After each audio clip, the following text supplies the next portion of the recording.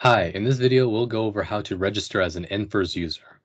On this login screen, you can click this register as a state and local user link inside this NFIRS state and local users and vendor login box to initiate the registration process. Here, you just need to enter basic user information. I'm going to go ahead and create an example account. So I'm going to start by putting in my email,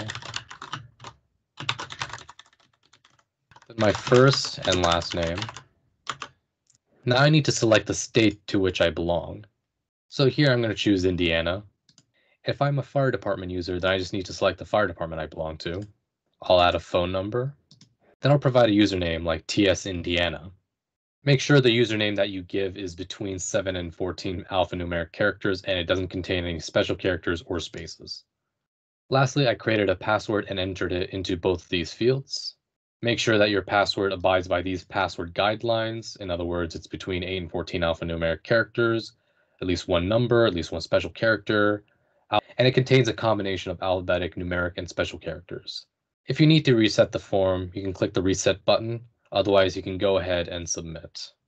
After submitting the form, you should see this message. You have successfully registered as a new NFIRS user. You should also eventually receive a confirmation email for the registration. And here's that email. It just reiterates your user information.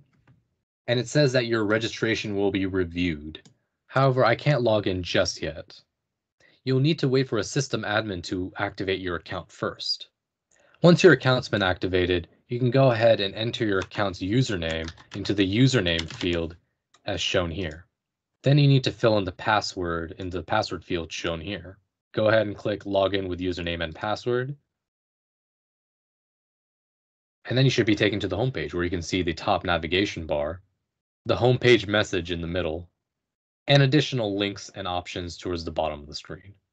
If you wish to log out of this current session, go to the top right and click your username. In the drop-down, click Log Out, and this will log you out of the system. In this video, we learned how to register for a user account, log into the system, and log out of the system.